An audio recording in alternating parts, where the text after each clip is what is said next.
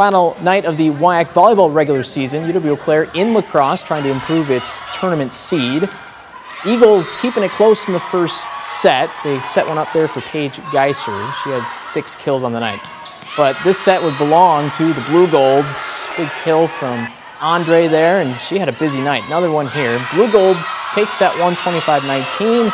They go on to sweep tonight by a score of 3-0 on the road to wrap up that regular season. The Blugolds will be the four seed for next week's WIAC tournament. Stout loses tonight to Whitewater at home, and now these teams are going to play again on Tuesday in Whitewater.